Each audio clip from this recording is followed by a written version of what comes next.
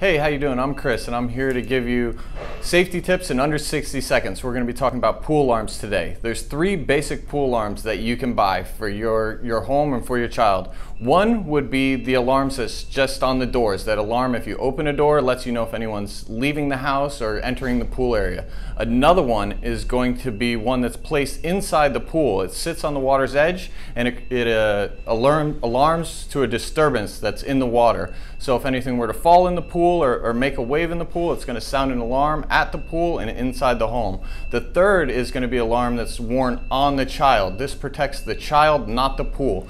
If the child were to get wet in any sort of water, whether it be a toilet bowl, a bucket, a swimming pool, or any other type of water, it's going to sound an alarm inside the house. And there's your three quick alarms that you can buy in under 60 seconds.